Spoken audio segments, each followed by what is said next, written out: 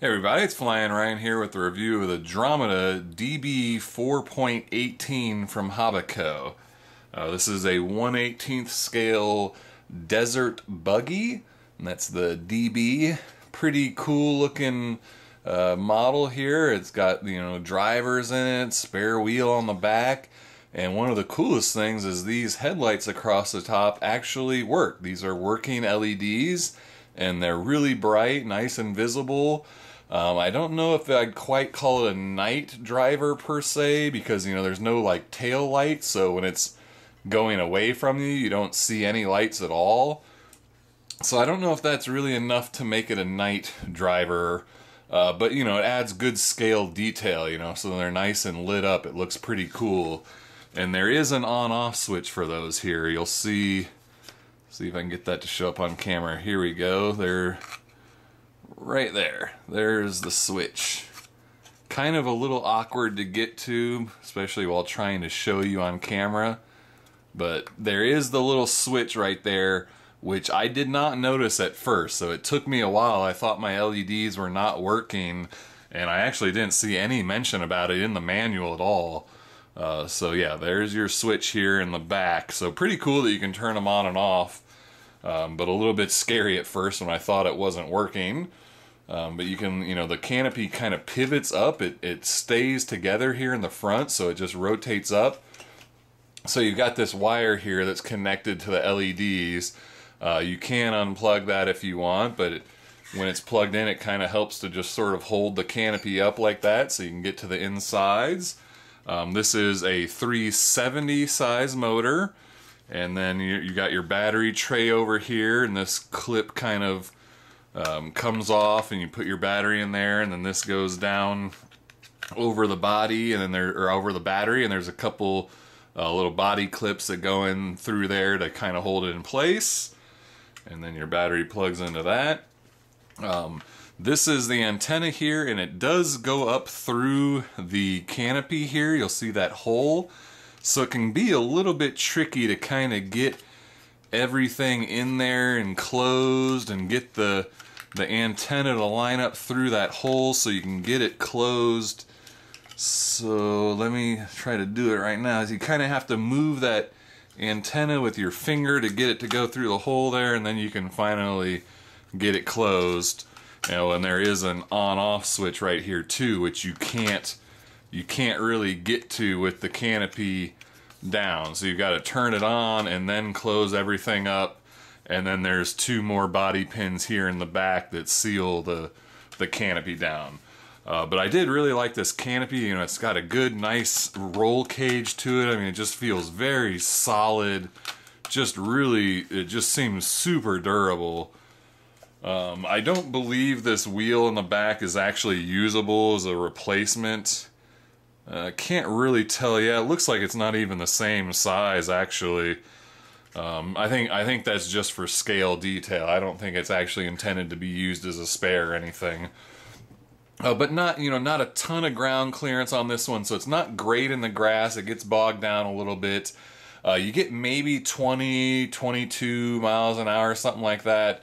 So a little bit on the slow side, but um, still fast enough to be fun, and especially when you're like off in dirt and you know what it's meant to do. It seems a lot faster in the dirt, you know, just kind of ripping around.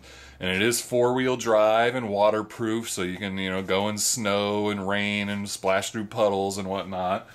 Uh, so you know a lot of fun, but not super fast on you know dry ground. So this one I found to be more fun out in the dirt and gravel and stuff like that.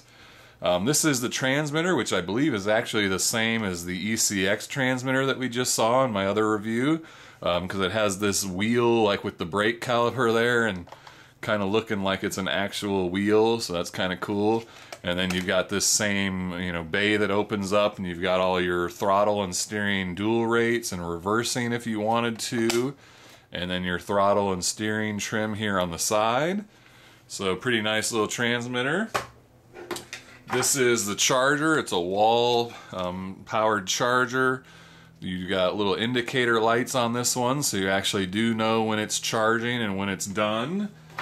Uh, the battery is a 1300 milliamp hour nickel metal hydride. Uh, so pretty nice big battery. Uh, takes about four hours to charge with the stock charger, or if you use you know hobby grade charger, you can charge in an hour. Um, you get about uh, eight minute run times or so. You know, as, as usual, it's going to depend on you know what surface you're driving on and how fast you drive, but eight minutes should be about the average. Uh, so a little bit slow, less running time, even though it has a bigger battery. Uh, so I'm not exactly sure why that is. I mean, I guess maybe it's weight because it is kind of heavy with all these like metal frame and stuff. It's got some good weight to it, so maybe that accounts for the shorter run times. Um, yeah, I think that's all there is to say about it. So let's go check out some run footage. Alright, this is the run review of the Dromida DB 4.18 Desert Buggy. We'll just start out over here on the uh, pavement do some speed runs. So there's full speed. So not super fast, but fast enough to be fun. I think they say about 20 miles an hour on this one. Looks like I need a little bit of steering trim. That looks pretty good. So yeah, that's just, that's full throttle there. This one kind of makes some weird noise too. Kind of has a weird high-pitched squeal to it.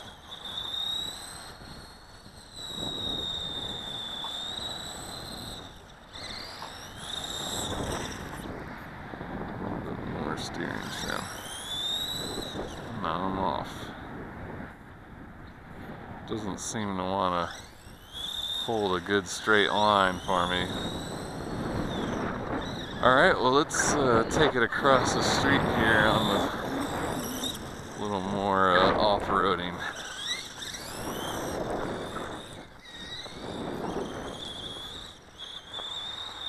This one's pretty fun here in the uh, dirt and gravel. It's not very good in the grass. It gets, oop, gets pretty bogged down in the grass. Uh, let's uh, go ahead and turn on the lights here. A little switch in the back. Now the lights are on.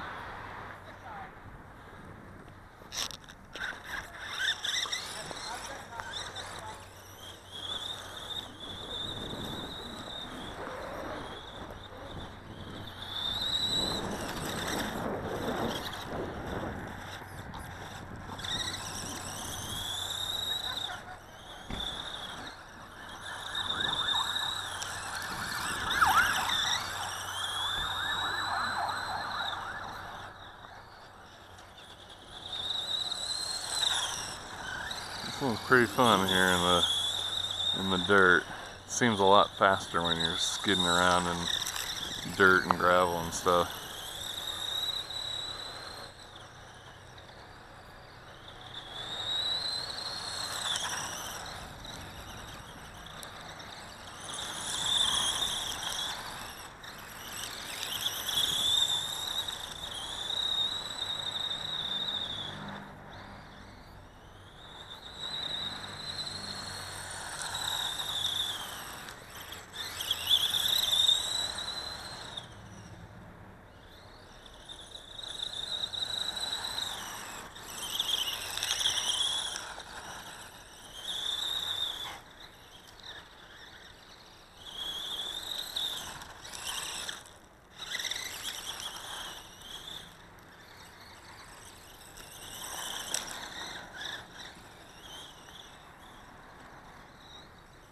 It's a little bogged down in the grass. We can do it though. That's full speed right now. There we go.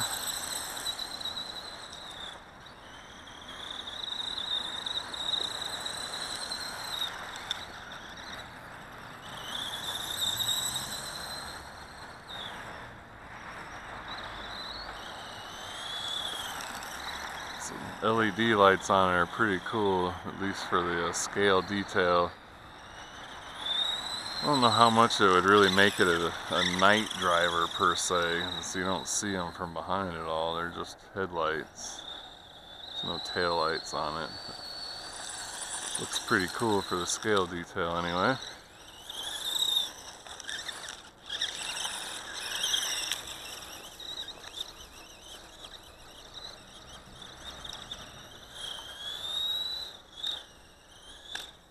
Ooh,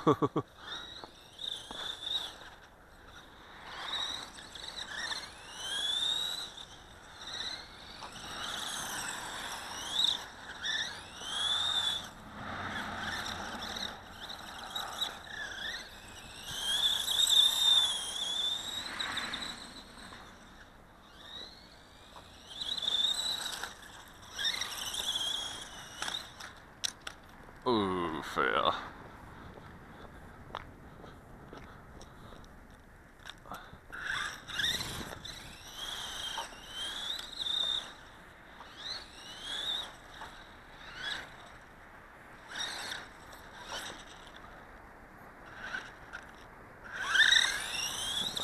Steering got knocked off a little bit. It's fine.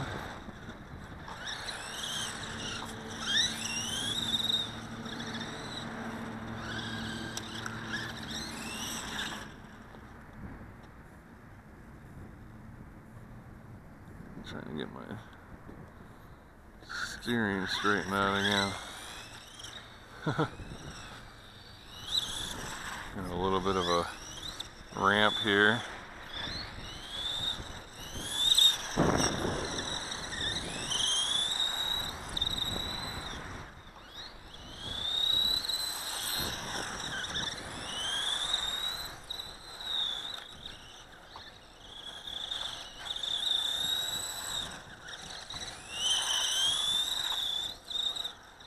Yeah, I don't know what's going on with the steering. Steering trim does not want to seem to stay straight. It constantly is something like locks the servo up a little bit or something. Kind of changes the steering trim.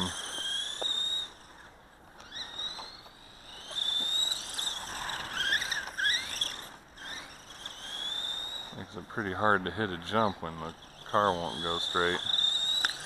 There we go. oh. Oh, that seemed to have kicked it off there. It did not like that.